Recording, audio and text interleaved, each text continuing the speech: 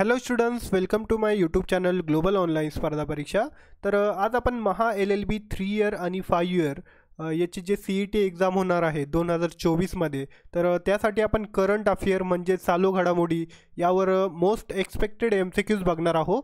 तर विद्यार्थी मित्रांनो लेक्चर तुम्ही शेवटपर्यंत ऐका. तुमचा एक्झाममध्ये याचा नक्कीच फायदा होईल आणि दोन हजार चोवीसमध्ये जे कोणी प्रिपेअर करत असेल ज्याला कोणा ज्याला कोणाला L L B three year किंवा फाईव्ह इयरची एक्झाम द्यायची असेल तर त्यांच्यासाठी आम्ही न्यू बॅच लॉन्च केलेली आहे. तर त्यामध्ये तुम्हाला काय काय फीचर भेटणार आहे ते आपण एकदा डिस्कस करूया. तर विद्यार्थी मित्रांनो तुम्हाला त्यामध्ये full syllabus video lecture provide केले जाणार आहे. त्यानंतर फुल सिलेबस नोट्स त्यामध्ये तुम्हाला दिल्या जाणार आहे. फुल सिलेबस मॉक टेस्ट तुम्हाला दिल्या जाणार आहे. तर विद्यार्थी मित्रांनो यामुळे तुमचा टाईमचं नियोजन जे आहे ते प्रॉपर होईल आणि तुमचं जे एक्झाममध्ये स्कोर आहे ते नक्कीच वाढेल त्याने. त्यानंतर दोन हजार plus M C Qs question bank तुम्हाला दिली जाणार आहे यामध्ये. तर विद्या विद्यार्थी मित्रांनो याची जी फीज आहे ते फक्त चोवीसशे रुपये ठेवलेली आहे आपण एका वर्षासाठी. तर या नंबरवरती तुम्ही कॉन्टॅक्ट करू शकतात आणि कोर्सला जॉईन करू शकतात. किंवा मग ग्लोबल ऑनलाईनचा ॲप तुम्ही प्ले स्टोअरवरून जॉईन करू शकतात. प्ले स्टोअरवरून तुम्ही डाउनलोड करा. तिथून तुम्ही पण डायरेक्टली कोर्सला जॉईन करू शकतात.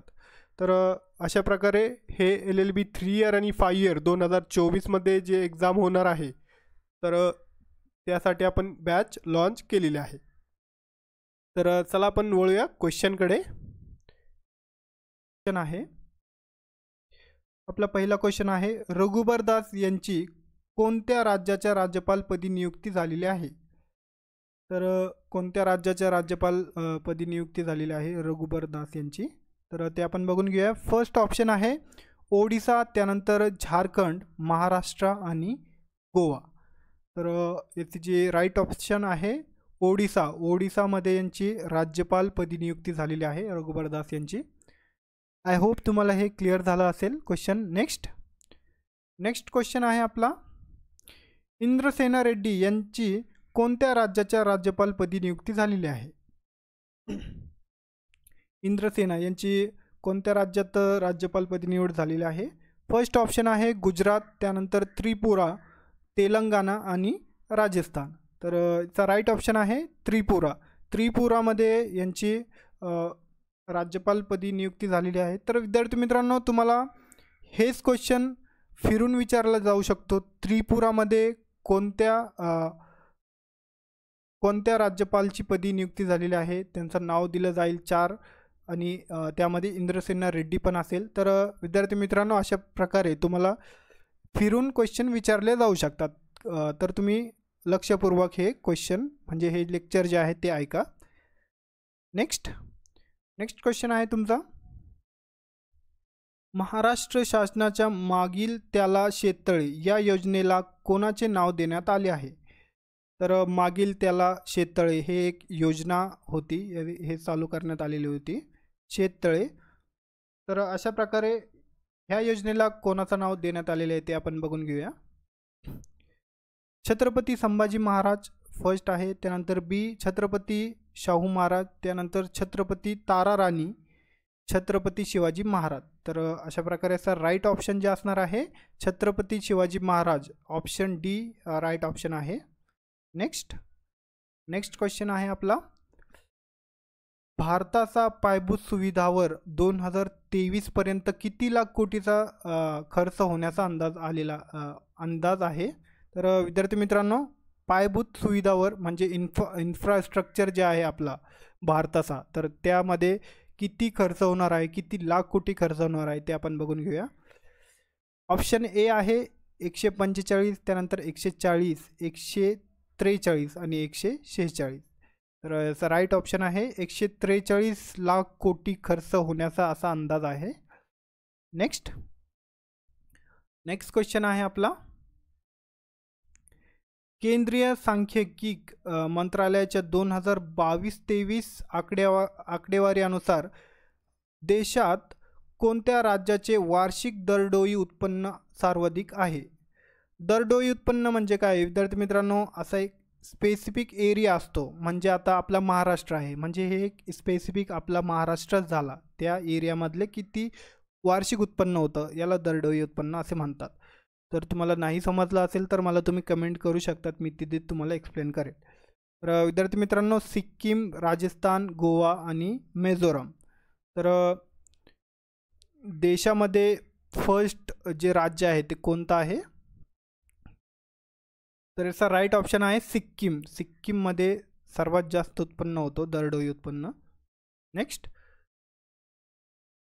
नेक्स्ट क्वेश्चन आहे आपला. देशात दरडोई उत्पन्नामध्ये महाराष्ट्र राज्याचा कितवा क्रमांक आहे? तर आपल्या महाराष्ट्राचा कितवा क्रमांक आहे ते आपण बघून घेऊया. दहा अकरा बारा आणि तेरा. तर याचा राईट ऑप्शन आहे. अकरावा नंबर आहे आपला महाराष्ट्र राज्याचा.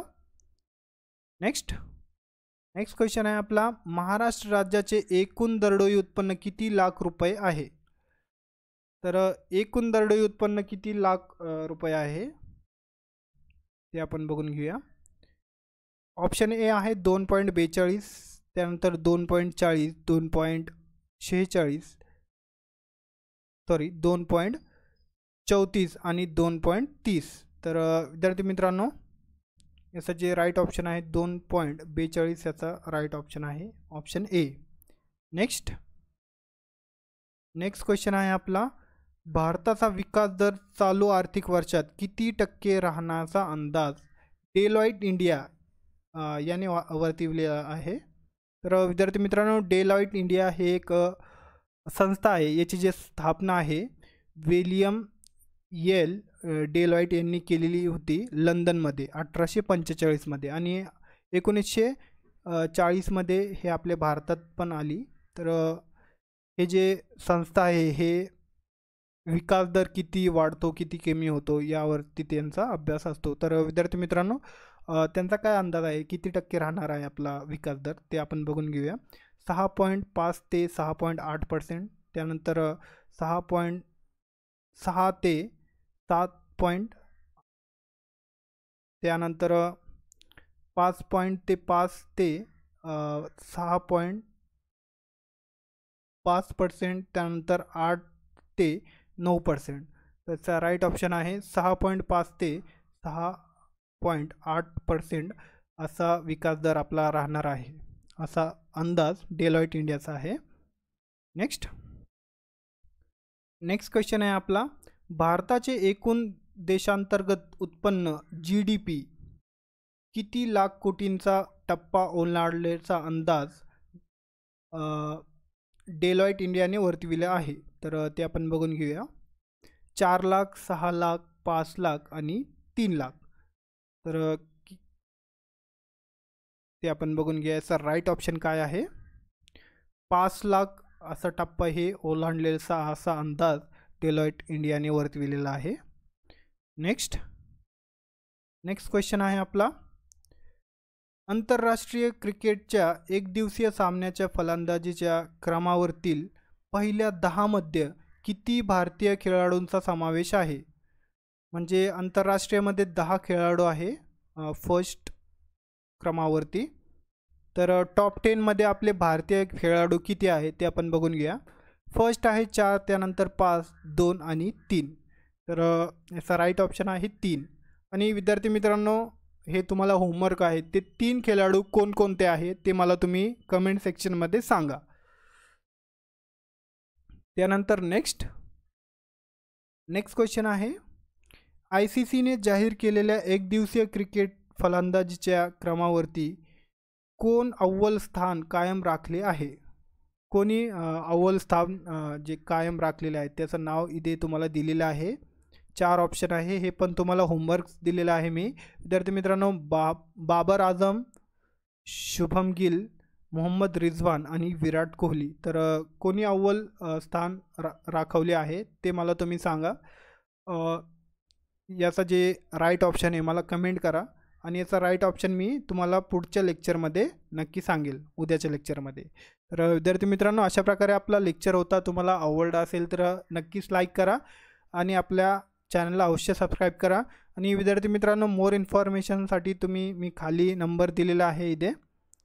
या नंबरवरती तुम्ही मॅसेज करू शकतात व्हॉट्सअप नाहीतर मग ग्लोबल ऑनलाईन ॲप डाउनलोड करा डायरेक्टली प्ले स्टोअरवरून. तिथून पण तुम्ही कोर्सला जॉईन होऊ शकतात. तर आजच्या आजच्या लेक्चरमध्ये एवढंच. आपण भेटूया उद्या. थँक्यू धन्यवाद.